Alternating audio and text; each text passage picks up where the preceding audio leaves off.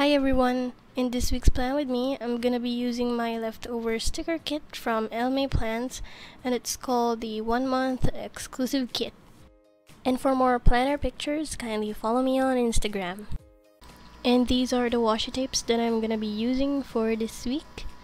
And without further ado, kindly hit that like button and subscribe button so you're not gonna miss any videos that I post. And enjoy watching!